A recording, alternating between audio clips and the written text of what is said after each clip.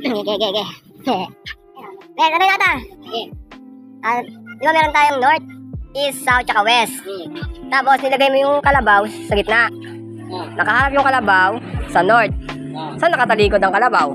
Nakaharap ang likod. Nino? Basag to, basag, basag. Sige, sabi mo, boy. Wag, sino muna?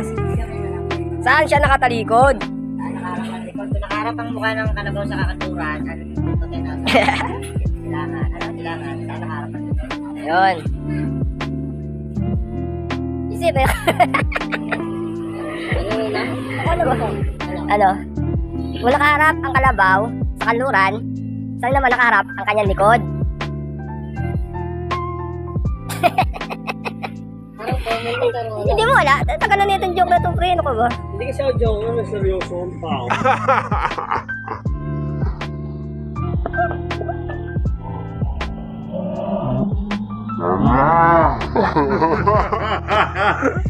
Hindi, hindi mo. Saan? James Lee. Eh, baby ako nung pag inagot. Hindi, wala. Natanong eh. Ikaw muna, ikaw lang pala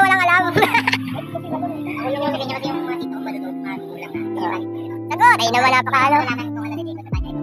Oo, sumabat ka muna. Ah. Uy, tagot mo muna dyan.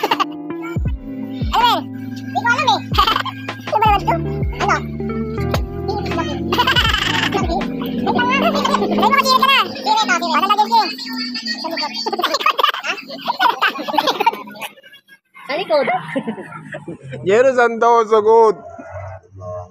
Oh, sa langit, bobo.